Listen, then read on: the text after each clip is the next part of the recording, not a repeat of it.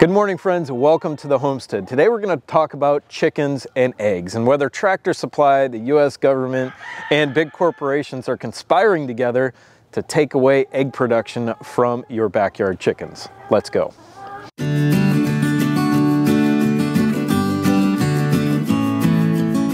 So we're going to talk about reasons your chickens aren't laying. We're going to talk about solutions to help them lay. We're going to talk about some feed science. We're going to talk about how these girls are doing right here.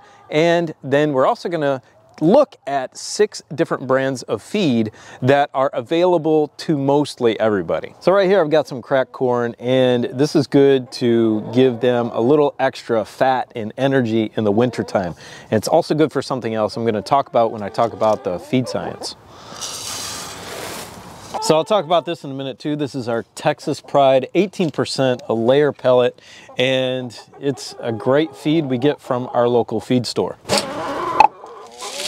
And would you look at that? The Rhode Islands hooked me up this morning. Just one out of the two of them that are in the center, but that's good. So let me talk for a minute about this. Evil men will conspire together to harm those who are less fortunate and those who they think are beneath them, which is usually the rest of us, right?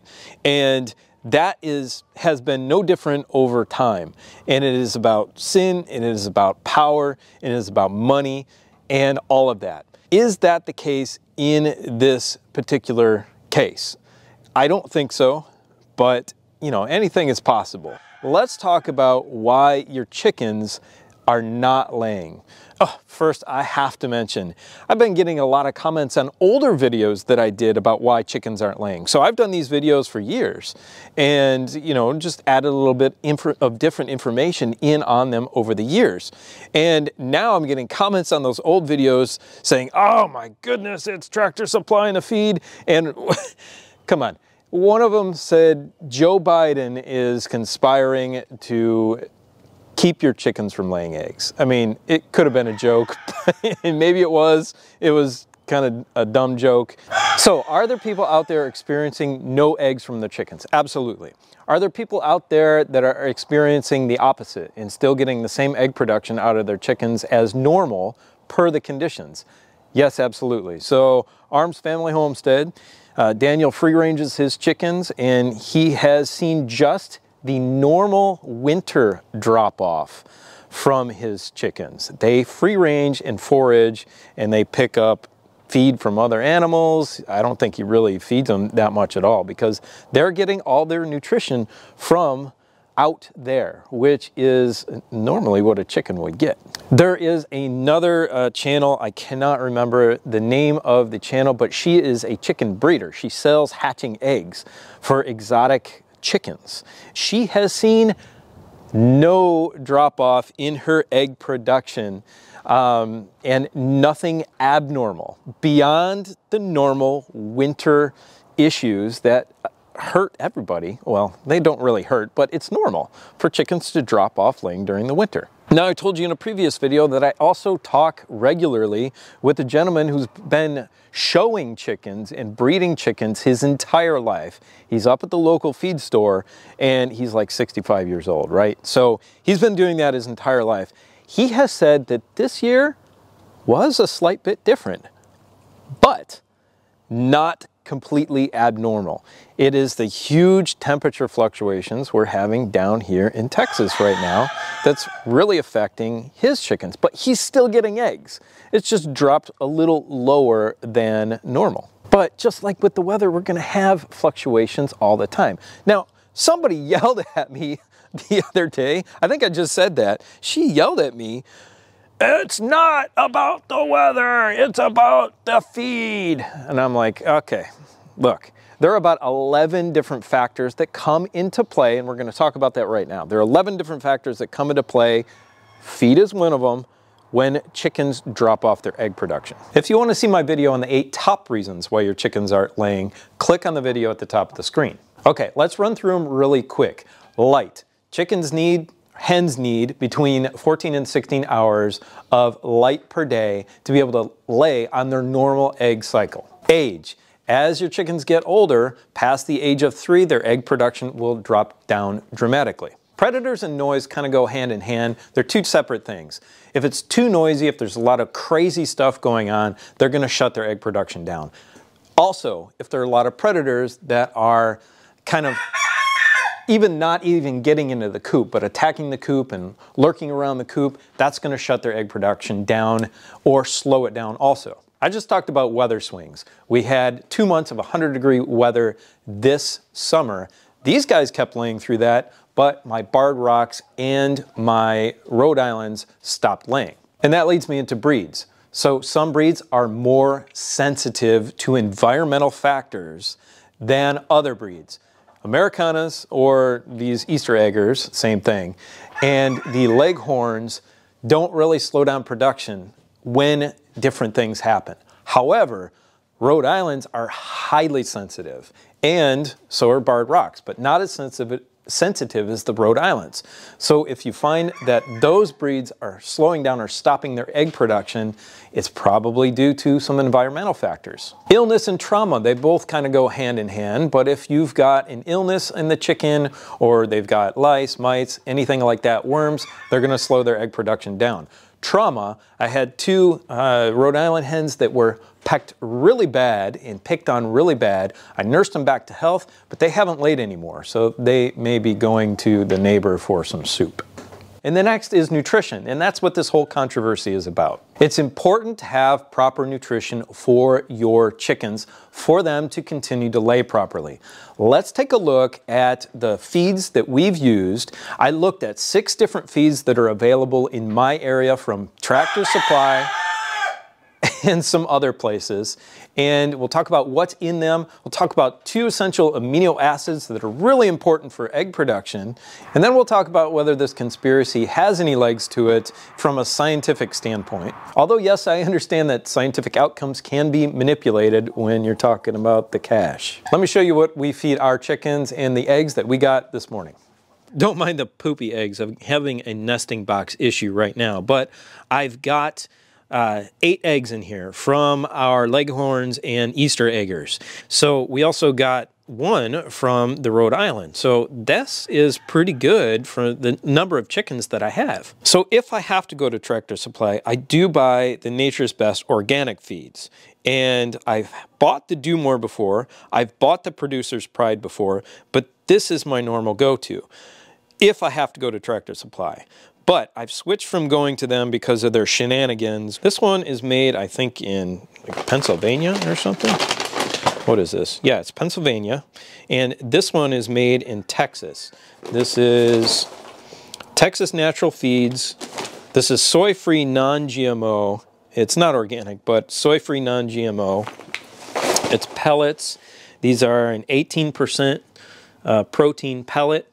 And They've got 0.8% uh, lysine and 0.4% methionine. So the feeds that we looked at were DuMOR, Producer's Pride, Nature's Best Organic, the Texas Naturals, uh, Nutrena, I think it is. Oh, it's Nature-Wise. It's made by Nutrena and Big V Foods. Big V is out of Oklahoma and I don't know where the other ones come from. There are 6,000, actually 5,800 to 6,000 feed mills around the United States. So the ones that are getting private labeled, like Producer's Pride, which Tractor Supplies sells, is all coming from Purina factories all over the country. And of those roughly 6,000 feed mills, uh, most of them are owned by six big corporations.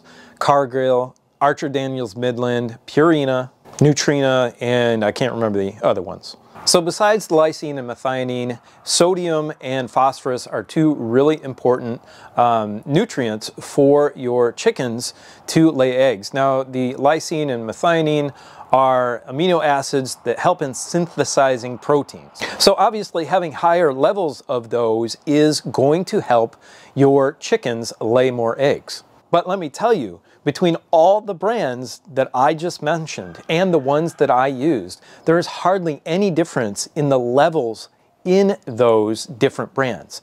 So let's take the lowest one, which is the Producer's Pride. It has only 0.6% of lysine in it. and 0.3% methionine. The two highest for lysine at 0.8% are the Nature's Best Organic and the Texas Naturals. But they've got a little less methionine in them at 0.25%.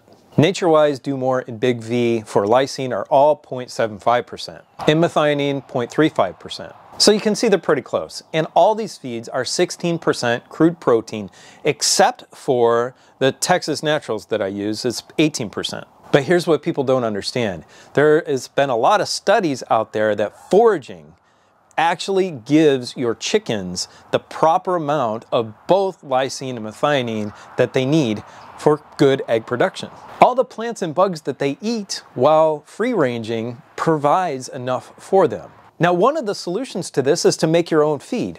Both corn gluten meal, which is the endosperm on the outside, and soybean meal, which is the same thing, provide high levels of lysine.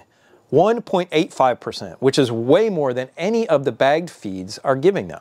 And it also provides a high level of methionine. So friends, I think that you can mix your own feed and come up with better results than the pellets or crumbles that you're buying at the big box stores. Now the highest methionine level that you can get is from fish meal, and that's at 2.15%. So if you can get that, then add that to your feed as well. But your chickens can absolutely eat a foraging diet that's not vegetarian because they're eating bugs, or you can make them vegetarian feed with lentils, with corn, with uh, oats, and flax, and all of that, and it's probably going to cost you less. So the solutions are to make your own feed, to increase your protein intake for your chickens in the wintertime, because that's when they need it. So add extra protein or high protein pellets for them in the winter. That's what the lady does who breeds um, for uh, hatching eggs. She adds like a 23% or it might have even been, I could be dyslexic there, it could have been a 32% like super power jump in uh, protein for her chickens during the winter and she increases her light. So if you are worried about companies potentially doing something to the feed, change your feed. Look for smaller feed stores. Get rid of the big box junk, right? Go to your small um, local grain elevators, feed stores, whatever you call them in your state, and buy from them because they're usually getting from a smaller supplier in your area. And here's something I forgot to mention. I'm out right now, so this is empty, but this gives a lot of calcium and protein to your chicken. So add some uh, mealworms, or these, these are soldier fly larvae, the Grubterras. Um, add, add that in in the wintertime at a heavier dose, and that will help them with their egg production.